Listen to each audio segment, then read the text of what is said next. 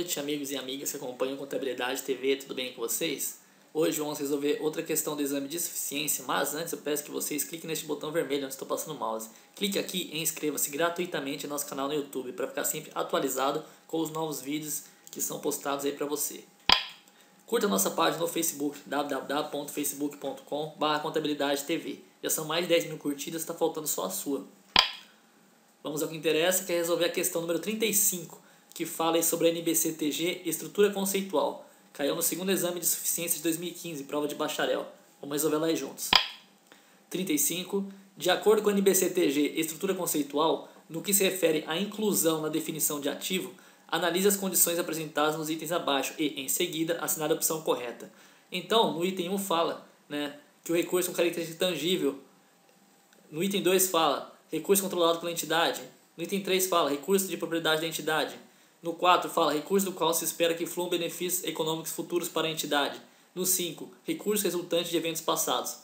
E aqui, né, em negrito, mais importante, de acordo com a NBC-TG Estrutura Conceitual, são condições necessárias para o reconhecimento do ativo os requisitos apresentados apenas nos itens. Né? Então, ele quer saber quais são as condições necessárias para o reconhecimento do ativo.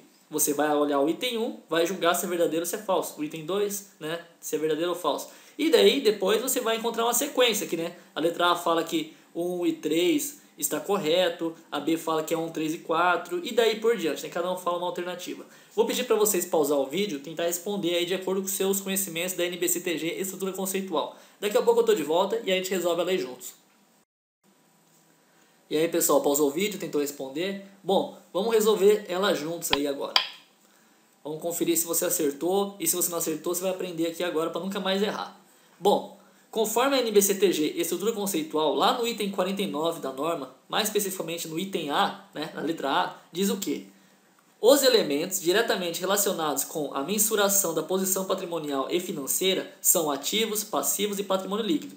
Estes são definidos como segue. Então a definição do ativo é um recurso controlado pela entidade como resultado de eventos passados e do qual se espera que resultem futuros benefícios econômicos para a entidade.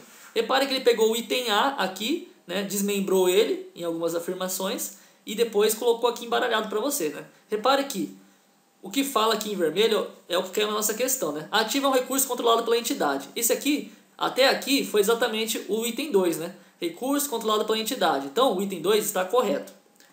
Como resultado de eventos passados. Esse aqui é o item 5. Né? Então, recurso resultado, resultante de eventos passados. Beleza, né? Tá correto também o item 5 e do qual se espera que resultem futuros benefícios econômicos para a entidade. Esse aqui foi a cópia do item 4, né? recurso do qual se espera que fluam benefícios econômicos futuros para a entidade. Portanto, aí, né, o item 2 está certo, o 4 também está certo e o 5 também. Daí, o gabarito da questão é a letra C, de contabilidade. Belezinha? Então, aí, se ficou alguma dúvida, mande um e-mail para contabilidadetv.com. Vou ter o maior prazer em responder. E se você quiser ler mais sobre NBCTG estrutura conceitual, procure aí no Google, você consegue ler a norma aí na íntegra e grátis. Valeu, até o próximo vídeo. Fui!